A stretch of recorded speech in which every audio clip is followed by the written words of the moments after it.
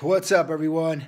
This is day five, day eight, however you want to call it. I don't know how the, the program is being designed, but today was chest and tris, guys. Why do I have my phone in this angle? Because my arms are burning. And if I, I can lift it up a little bit, but I'm not going to even try to like push my arms up a little bit more. But all I got to tell you guys, that was a workout. That was an intense workout. First round was all chest. Uh, by, uh, with weights. The second round was also weights. The third round, burnout round, oh my goodness.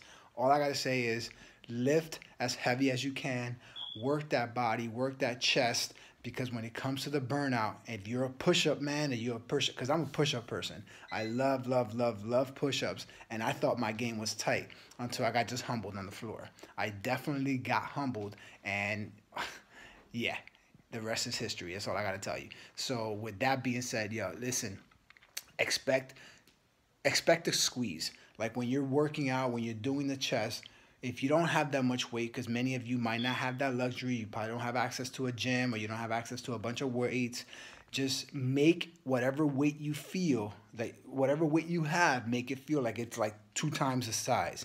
So for me the highest weight that i had today is 30 pounds. So i have to make that 30 pounds feel like 60 pounds. So that you can do that as well. So i highly uh, motivate you to actually squeeze that chest as much as possible so that you can get the best squeeze and get that chest that inner chest that inner chest muscle to build, which is one of my goals. My goal is to get the, the center chest uh, burnout and then the outer chest burnout with this program because my chest has always been one of my my setbacks in the sense of, you know, I never really had that one chest that you can just say, you know what, no matter how heavy I got, no matter how skinny I got, I still had that chest. I, I never had that. So for me, I, that's one of my goals with this program is to fulfill that chest uh, build along with everything else, of course. So uh, today, get ready, guys, to really, really push yourself past your limit. Just know, take your body to exhaustion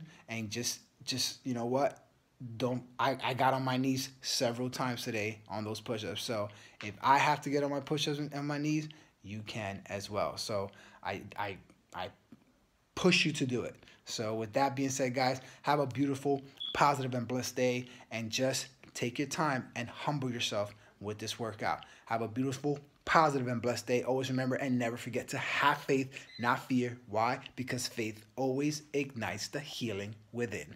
Whoop, whoop. Peace.